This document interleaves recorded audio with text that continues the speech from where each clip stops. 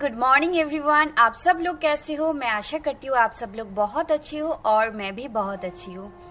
सुबह के अभी बज गया है सात और मैं हर रोज की तरह सुबह जो मैं मी टाइम स्पेंड करती हूँ, वो टाइम स्पेंड करने के लिए मैं टेरेस पे आ गई हूँ, अपनी मॉर्निंग टी लेके और अभी जो मैं कर रही हूँ, वो है इनसाइड आउट की जो ब्लॉग है, वो देख रही हूँ। उनकी करेंट ब्लॉग मैं हर रोज उनकी ब्लॉग देखती हूँ। या फिर रात को सोने के पहले देख लेती हूँ, नहीं तो फिर सुबह उठ के देखती हूँ। एक एनर्जी की तरह मेरी लाइफ में इनकी ब्लॉग है। एक बहुत स्ट्रांग बना रहा है मुझे दिन ब दिन। मैं जब भी सुबह उठ उठ के उनका ब्लॉग देखती हूँ, मेरा दिन बहुत अच्छा जाता है और मैं इनकी तरह बनना चाहती हूँ। दे आर माई इंस्पिरेशन जब भी मैं कभी थक जाती हूँ लाइफ में, थोड़ा सा मायूस रहती हूँ, थोड़ा सा डिप्रेस्ड हो जाती हूँ तो मैं इनका ब्लॉग देख लेती हूँ। बहुत स्ट्रांग बना देता है मुझे और मैं बहुत अच्छा फील करती हूँ। आप लोग भी जो कि नए यूट्यूबर हो प्लीज़ इनका ब्लॉग देखिए। क्योंकि आपको भी समझ में आएगा किस तरीके से वीडियो बनाते हैं, किस तरीके से एडिटिंग करते हैं और एक अच्छा बूस्टअप मिलेगा आपका लाइफ में।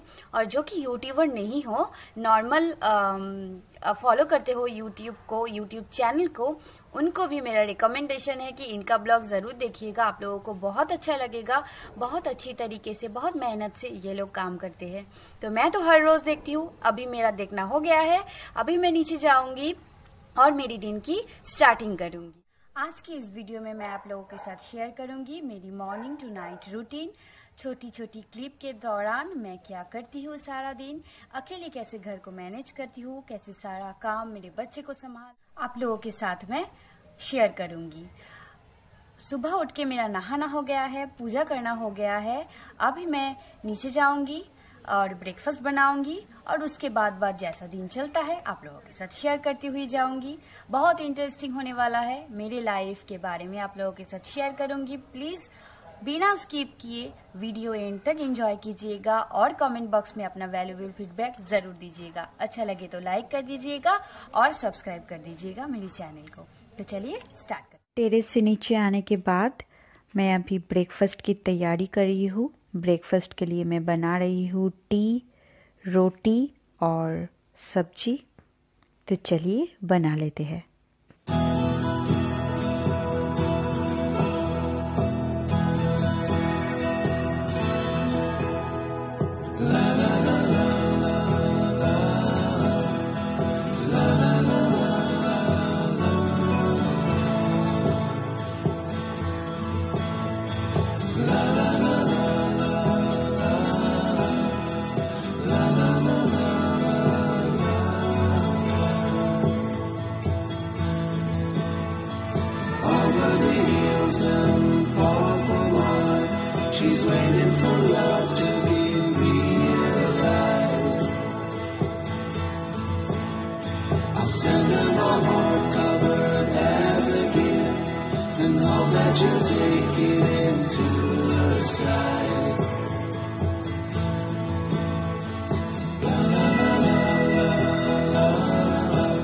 ब्रेकफास्ट के बाद किचन का कुछ सामान लेने के लिए मुझे थोड़ी टाइम के लिए बाहर जाना पड़ रहा है। आने के बाद वीडियो आगे कंटिन्यू करूँगी।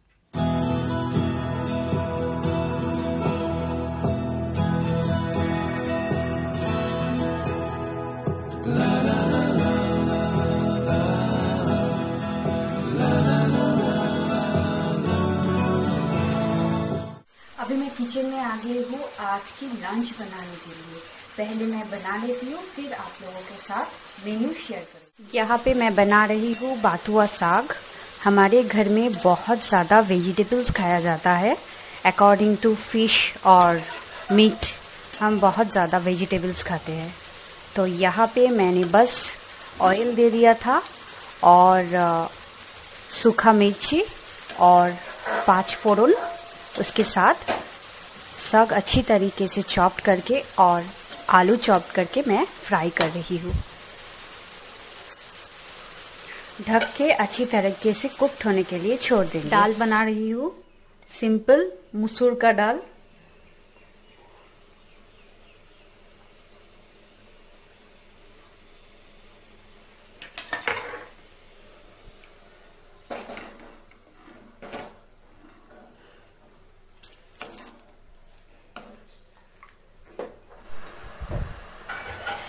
यहाँ पे बन रहा है चिकन करी। रेसिपी डिटेल्स में मैं शेयर नहीं कर रही हूँ। इससे पहले बहुत बार शेयर कर चुकी हूँ। डिस्क्रिप्शन बॉक्स में मैं लिंक दे दूँगी। आप लोग उस वीडियो को भी जाके देख लीजिएगा।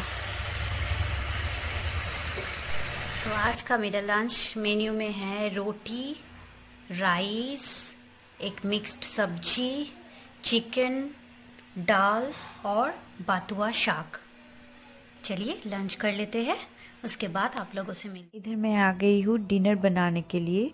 डिनर में आज मैं बना रही हूँ गोभी की पराठा, जिसके लिए मैंने फुल गोभी को ले लिया है और बहुत फाइनली चॉप करके ले रही हूँ।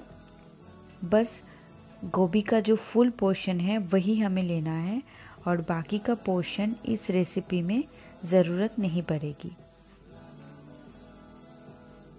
अभी हम गैस ऑन करके चला देंगे एक पैन, जिसमें हम दे देंगे थोड़ा सा वाइट ऑयल बहुत ज़्यादा ऑयल की ज़रूरत नहीं पड़ेगी।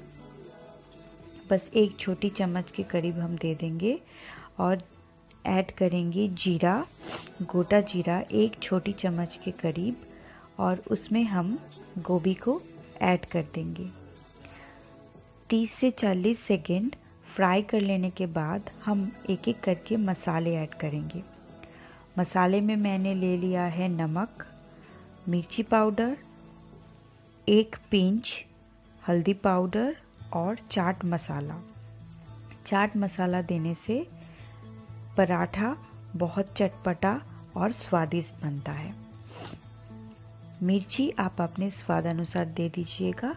जितना स्पाइसी आपको खाना है, अभी हमें बहुत ज़्यादा फ्राई नहीं करना है।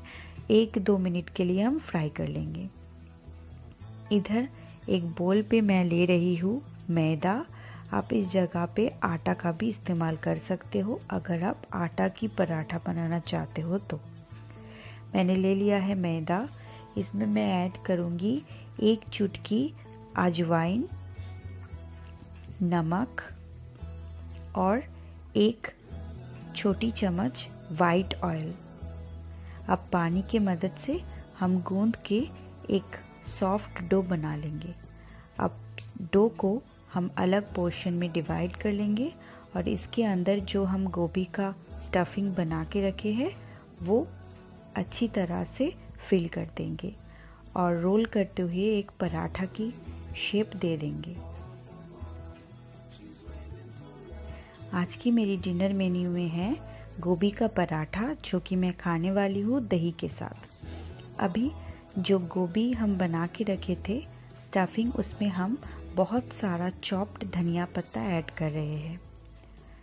ये धनिया पत्ता हम कुकिंग के टाइम भी ऐड कर सकते थे, लेकिन धनिया पत्ता का जो एक रॉ फ्लेवर है स्मेल है, वो बहुत ज़्यादा पसंद है, इसीलिए मैं एकदम एंड में ऐड कर रही हूँ। अच्छी तरीके से प्रेस कर देंगे ताकि स्टफिंग पराठा के अंदर अच्छे से सारी जगह स्प्रेड हो जाए। अभी फिर से गैस ऑन करके मैंने चला दिया है पैन। पराठा को हम फ्राई कर लेंगे। मैं इधर घी में फ्राई कर रही हूँ। आप लोग वाइट ऑयल में भी फ्राई कर सकते हो। अब एक एक करके मैं सारी पराठा बना लूँगी।